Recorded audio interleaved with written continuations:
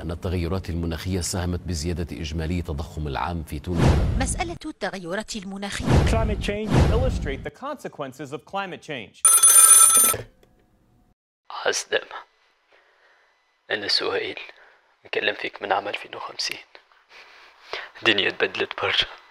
درجات الحرارة ولت خيالية. في مناطق كما سيدي بوزيد الحرارة ولت توصل ستين درجة. مناطق كاملة في تونس ولات ما تنجمش تعيش فيها.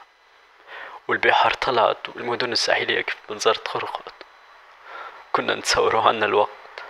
أما الحقيقة فات الفوت.